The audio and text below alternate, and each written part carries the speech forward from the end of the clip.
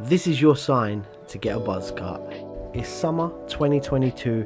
Buzz cuts are the in thing at the minute. A lot of people are worrying, will it suit me? Won't it suit me? Firstly, do not worry about your hairline. With a buzz cut, as long as you go skin on the sides and a three or a four on the top, you can shape around the hairline and make it look perfect, regardless of how thin your hair is or how thick your hair is.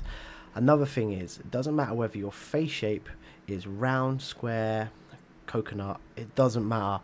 It is going to suit all head shapes. Trust me, this is your sign to get a buzz cut. I believe you should get one. Or if you know someone who needs a buzz cut in their life, it's summer, it's 2022, it's hot, no one needs hair. Tag someone who needs this trim right here. The details and everything, you can still put wax in there, you can still style it. It looks awesome. Follow me for more content. Thank you very much.